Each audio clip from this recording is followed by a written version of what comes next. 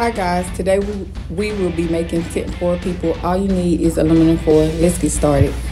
Yay!